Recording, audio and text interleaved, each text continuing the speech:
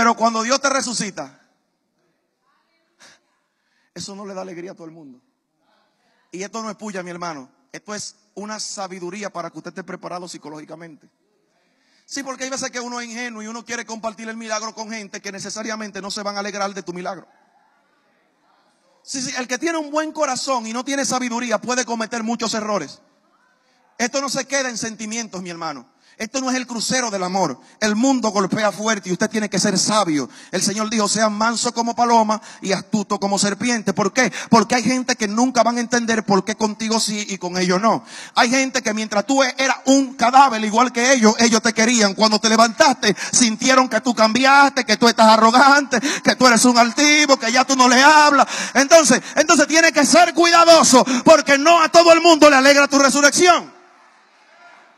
Por eso es que cuando Lázaro resucita, los fariseos se reúnen y dicen, este milagro afecta a nuestro interés.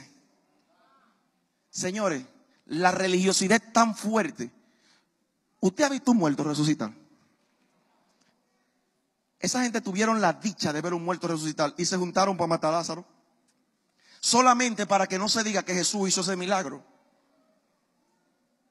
Toca a alguien y dile, todo el mundo no tiene tu corazón. Dile, dile, tiene que saberlo, dile, sépalo, sépalo. Todo el mundo no tiene tu corazón. Todo el mundo no tiene tu corazón. Todo el mundo no tiene tu corazón. Se reunieron, hicieron un complot y dijeron, vamos a matar a Lázaro y también matemos a Jesús. ¿Por qué? Porque este tipo está afectando nuestros intereses. Nosotros no podemos dejar que esta resurrección, eh, eh, no podemos dejar que esta resurrección siga a cabo. ¿Sabe qué pasó? A Lázaro no lo pudieron agarrar. Porque una cosa es tu agarrar y matar a alguien que nunca ha muerto, pero a alguien que ya murió, el hombre no lo puede matar.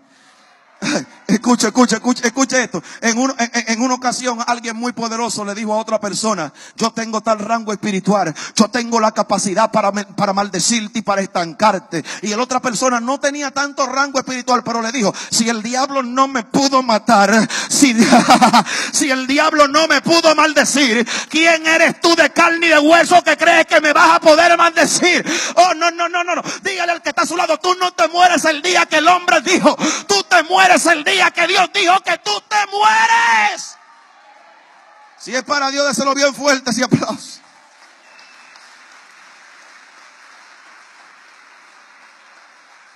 A Lázaro no lo pudieron matar, pero había uno que no había muerto.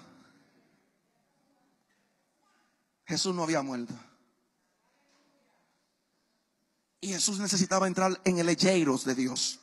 La palabra resurrección quiere decir Ejeiros, que significa levantarse dos veces. Jesús tenía que descender. ¿Por qué? Porque mientras tú no mueres, tú eres un corderito. Y Jesús sabía que a Lázaro no lo podían tocar porque nadie que Dios levantó, un hombre no lo puede tocar. Si a usted lo levantó un concilio, ese concilio responde por usted. Si a usted lo levantó un hombre, ese hombre responde por usted. Si a usted lo levantó una entidad religiosa cualquiera, esa entidad que responda por usted. Pero si el que lo levantó se llama Jehová, Dios de los ejércitos.